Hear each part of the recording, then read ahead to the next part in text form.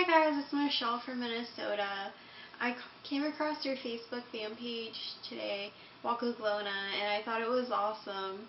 You guys really live in a beautiful place. New Park Winalsi is so beautiful too. With love from Minnesota.